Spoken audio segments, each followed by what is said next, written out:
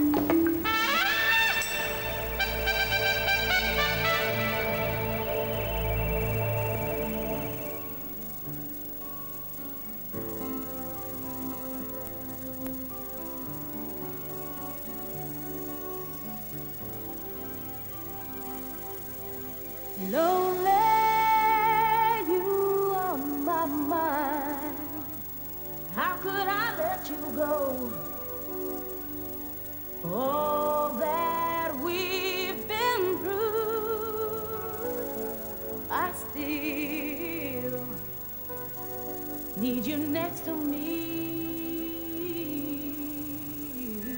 Was about uh, six or five or something, I was in the bedroom, my sister and I was singing, just playing around and whatever.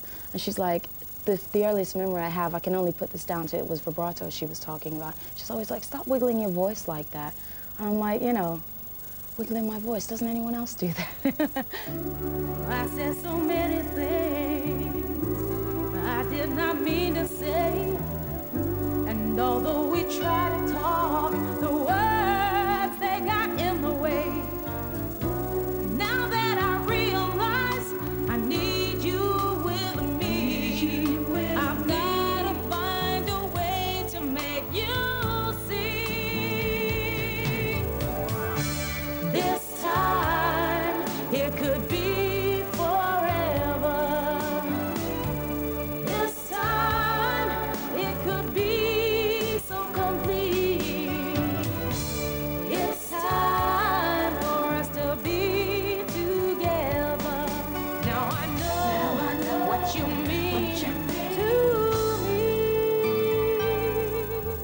Basically, I think this career has come about because of my intrigue as to why people like it.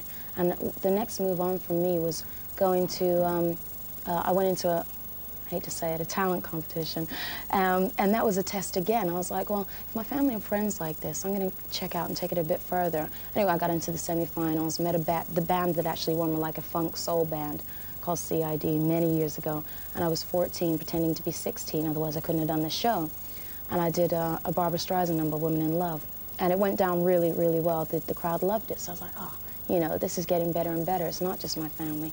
And basically, like I'm saying, that the reason that this career came about is because of the intrigue as to why people want to, you know, what's so special about my voice, you know. And I just, it's, it developed into a career. And I thought, well, you know, maybe I could get a job out of this. Now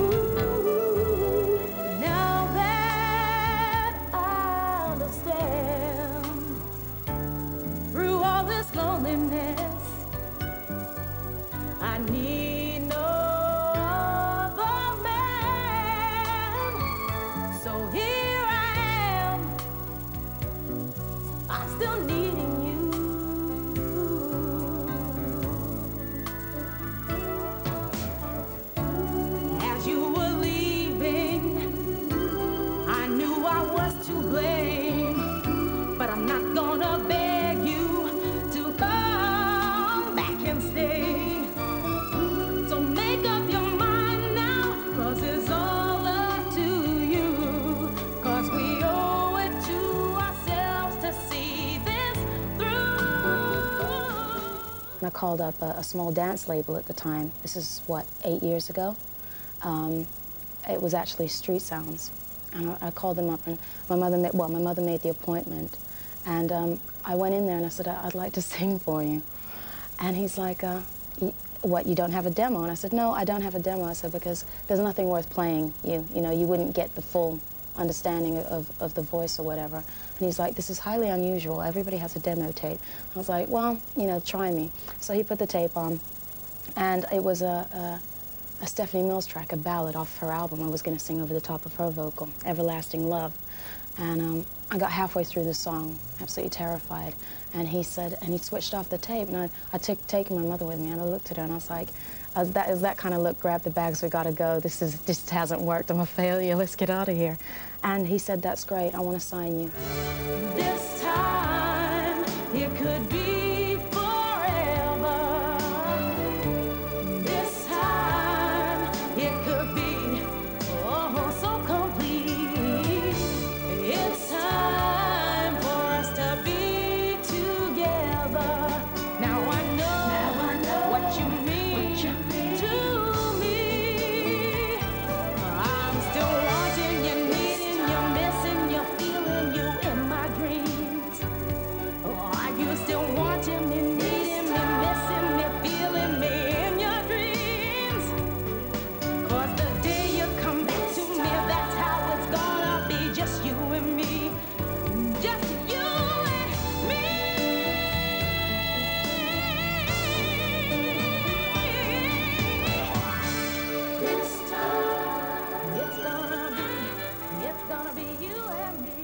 singles were out pretty very close in succession to each other. There was like Ain't No Man, Special Kind of Love, so, and they were all like um, in a few months of the, the last part of the year of 92.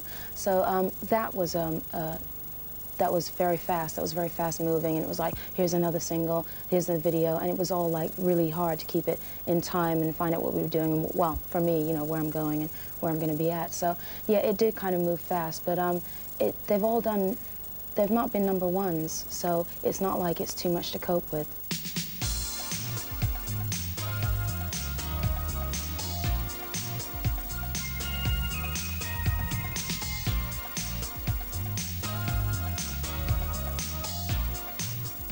I'm better taken care of now. Before I'd be struggling through London, through the pouring rain, with two heavy bags on my back, like, why am I doing this, trying to get to a session, or, you know, in the real times when I was thinking, feeling sorry for myself.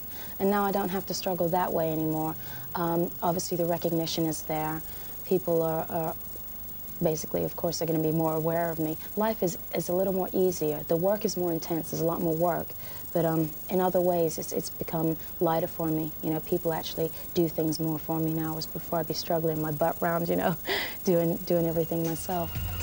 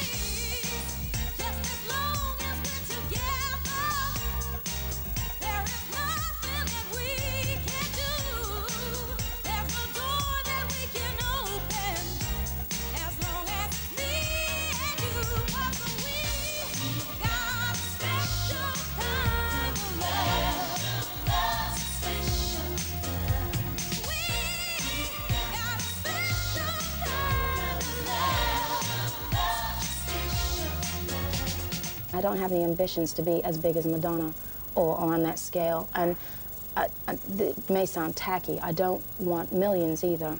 I want enough money to be comfortable in life. I don't want to struggle like people I know are struggling and my family has struggled in the past. I want to be able to pay the bills, you know, and feel secure in that and have a nice home, a comfortable home.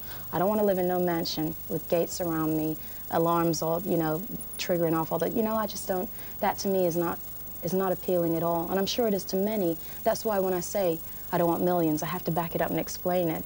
Because people are like, how can you not want millions, you know? Not everybody has that chance, but millions is like, you're just trapping yourself. You're, you're a target all the time. You know, you become extremely paranoid and unhappy behind all that. I just want a nice little home.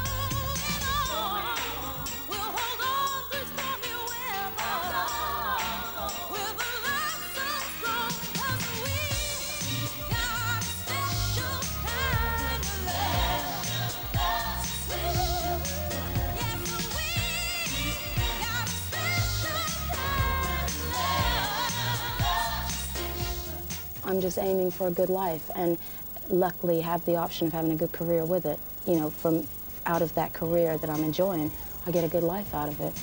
It's a bonus.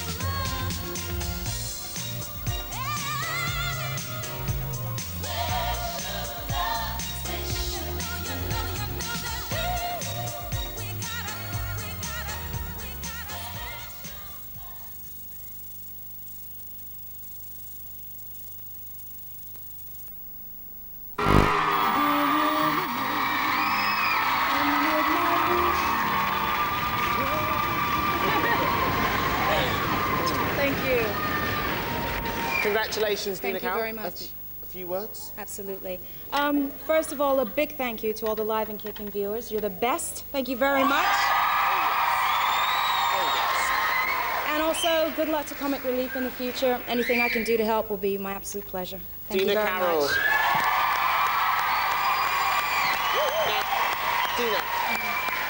Would you like to sing a song? I'd love to. Well, shall I look off your award maybe? Only if you're very careful Whilst you with it, go Andy. prepare? Yeah, Okay, absolutely. thank you very much. Thank you.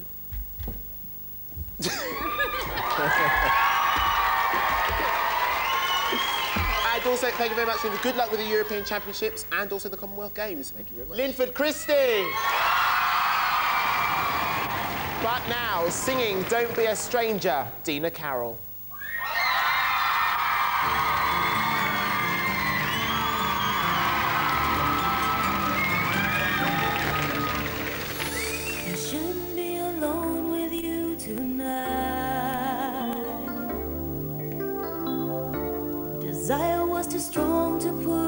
A fight. I don't understand the way I feel, although it feels so right. I really shouldn't be here tonight. In your eyes, there's a sign of intensity. I sense an atmosphere. No need to hide from the way that you feel inside. There's nothing left to fear, if only for tonight. Don't be a stranger. I wanna take this chance, risk it all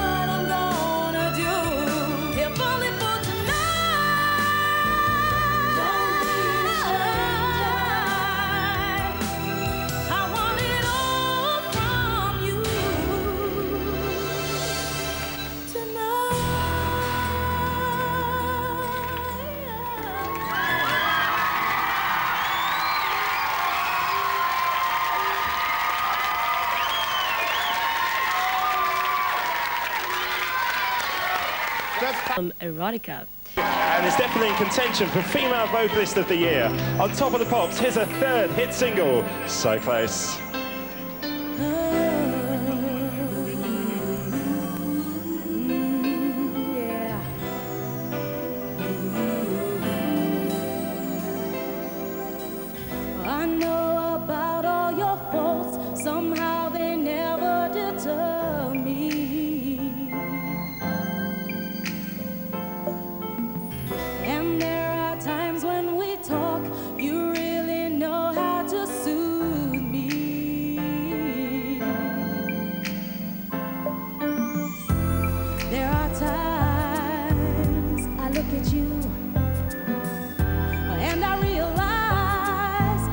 Lead me to. But after all is said and done, there's nothing sweeter.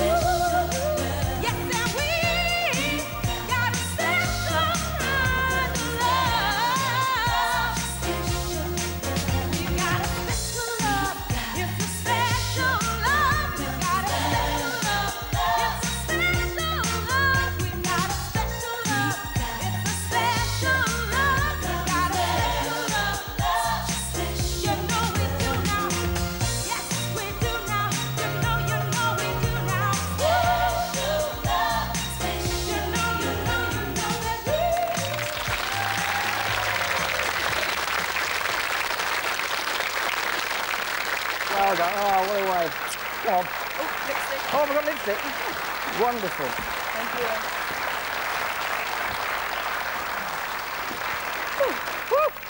What a way to start a new series. Spanking wonders.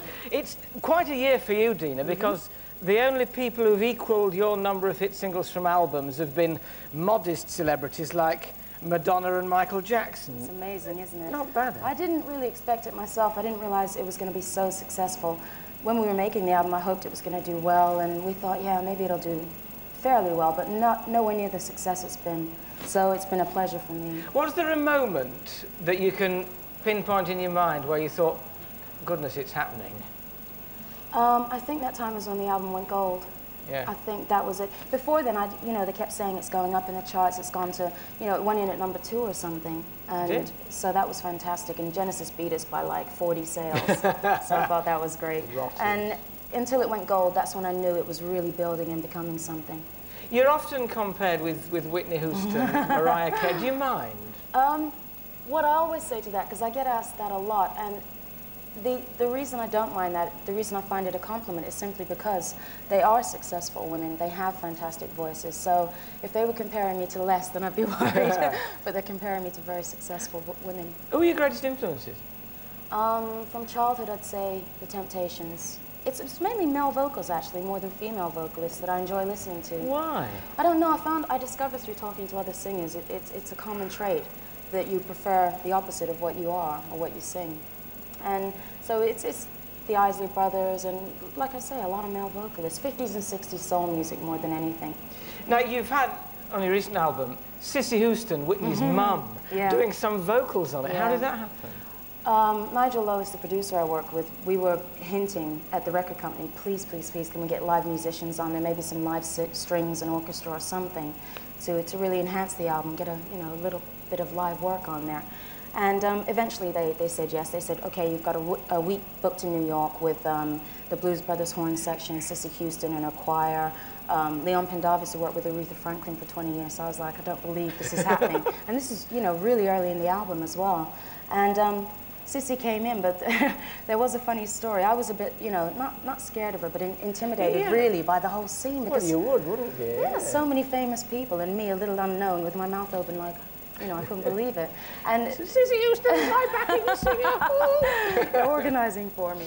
And she's quite a strong woman and, and quite quiet. So she was standing there, and what happened was she was standing in front of us with her back to us, you know, orchestrating the choir and whatever. And um, she bent over and she had black trousers on, and there was a massive split in the back of them.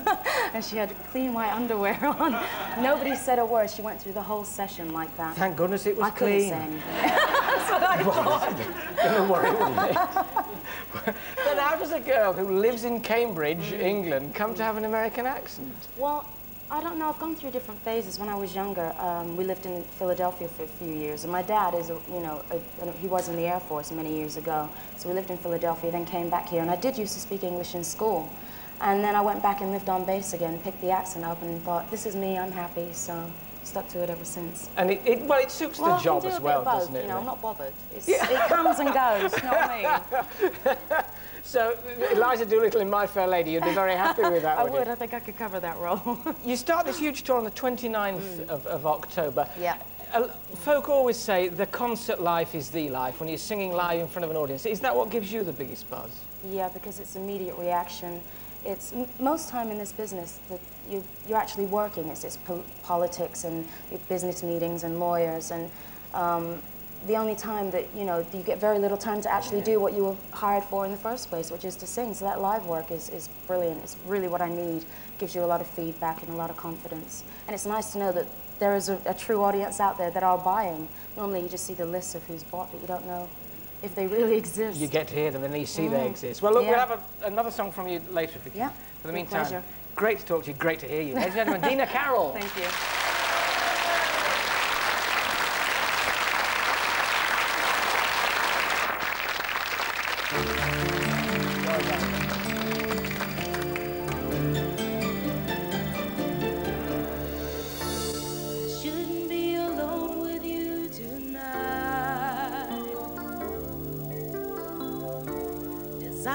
Was too strong to put up a fight.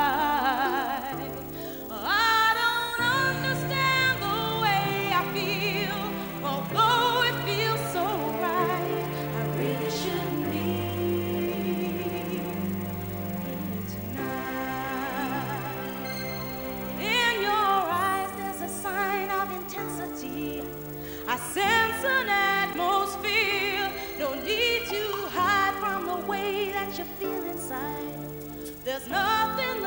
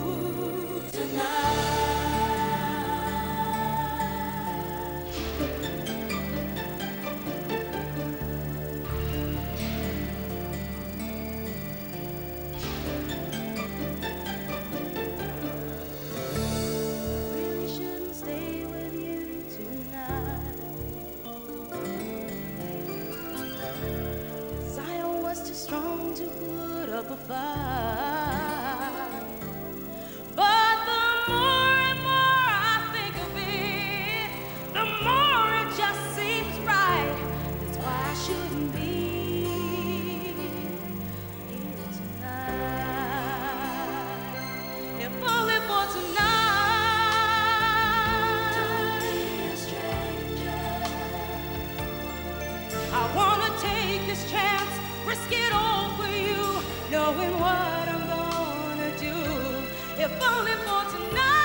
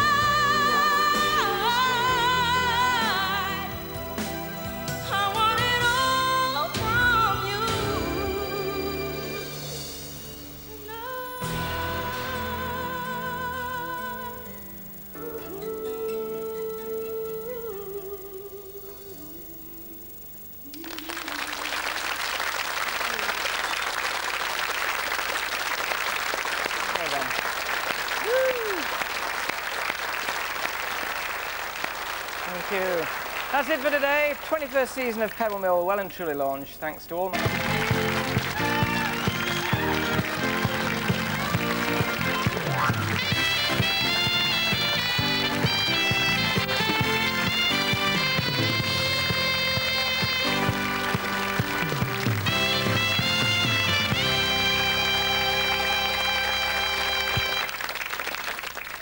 Special kind of love. Have a lovely weekend. good we'll see you on Monday. See you Monday. Bye-bye. Bye. Bye.